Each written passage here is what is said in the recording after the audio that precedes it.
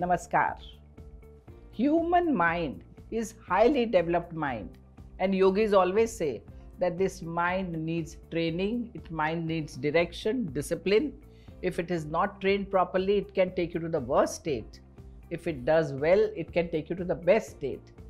Mana eva manushyanam karanam bandha. Same thing with technology. If it is used properly, it can give you a very good service, can take you to the very good level. But if not, then what happens? It brings diseases, problems, and lots of pain and suffering. Recently, in a conversation, I came to know that there are different types of technology addiction. Come on, what is this going on?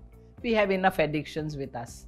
Why add more? I understand that the millennials need to remain up to date and the technology is really helping them. Fine, I accept it. Let's go ahead. But now understand how to use this technology, otherwise, it is going to create more problem for you. My dear friends, my only question is that if you don't have a grip over your mind, you will get affected with this rat race. And so, first, have a proper understanding about your mind to use this technology. You see, more than 95% of people have very easy access to this internet. And then what happens? They very comfortably get addicted to it. But how do you know that you are really addicted to this technology? And so understand the symptoms. When a person is addicted, the first thing is feeling of guilt, anxiety, and depression. Person slowly, slowly becomes dishonest and very defensive. Person has a euphoric feeling in front of computer. Person is unable to follow his schedule. He totally, completely uses the sense of time. He doesn't even know how much time he is spending on these things. He wants to find out some reason to go again on the online. You know, na, that shopping unnecessarily starts because there are always some attractions. Why do you think that this techno addiction is creating more and more problem? Let us see the causes.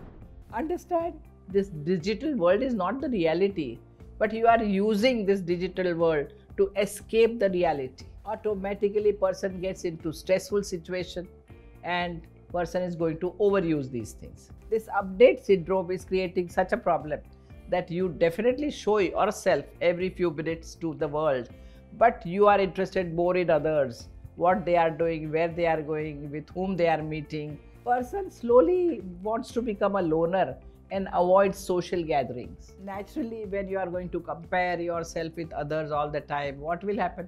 Insecurity in life. Understand? The best way to motivate yourself is to do something different, not this. So now let's see the effects. See this gaming disorders. One game is finished, another game starts. You are continuously getting attracted to different different games, and that is going to create problem. You are virtually getting addicted to all that, and slowly, slowly you totally become loner and loner in your life. The thing which will come up very fast is attention deficit, ADHD. Focus is missing, concentration is missing, and when concentration misses, knowledge cannot come only. What happens then? You have a sedentary lifestyle. You are sitting at one place and playing the games, and the first outcome would be obesity. Since mind is restless, another thing which will really grip you would be insomnia. And do you know how insomnia is harmful?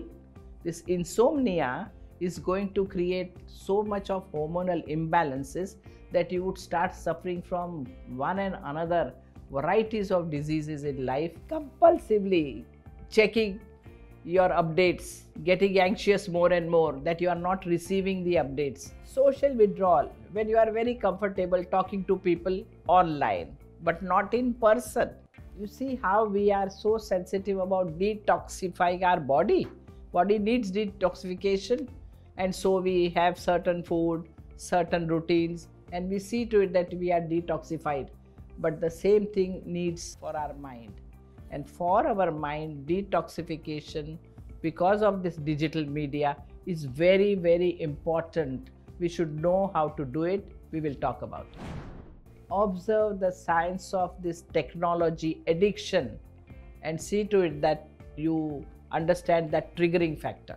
Learn to be around nature and not to just click pictures here and there to be on post. Take the fragrance of the flowers, take the cool breeze coming on yourself. Learn to go old school.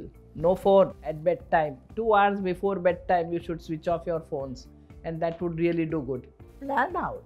You can periodically detox yourself by keeping this mobile away from your body, away from things. Rather, one day I saw that all people were sitting in the hall, and the first thing which was told to them was remove your mobile and keep it on the table. That is the first step of detoxification. And second, keep it on flight mode so that nobody is going to call you anymore. And that would do very well with your detoxification thinking. When people get so busy with digital media, they forget even to eat their food. You are called, come on, food is ready, come and eat, but you are busy. Now food gets cold, and then you come and eat. Everything is not done properly. Don't do that. When family members are around you, this mobile is out. Never carry that on dining table. Never carry that in your bathroom. Never carry that when anybody else is sitting with you. Come on, experience this golden silence. Turn off all these things. You see, I'm not denying the fact that this digitalization has made our lives so easy, so comfortable. The whole world is with us in this little thing. Very fine. But now we should know how to use, how much to use. We should have some discipline, some system to use this. We should know that switching off, disconnecting, will make you get connected to yourself. There is more to life than just being online. Commit to take little little progressive step and you will notice that how soon you will progress, how soon you will come out of this addiction and you will then start enjoying this natural beautiful life also and the digital life also. So try and put your effort and you will definitely be more happier, more healthier. So, namaskar.